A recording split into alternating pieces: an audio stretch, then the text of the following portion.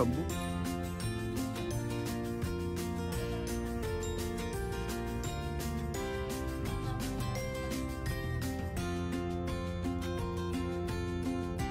What do you think? Is it good idea or going home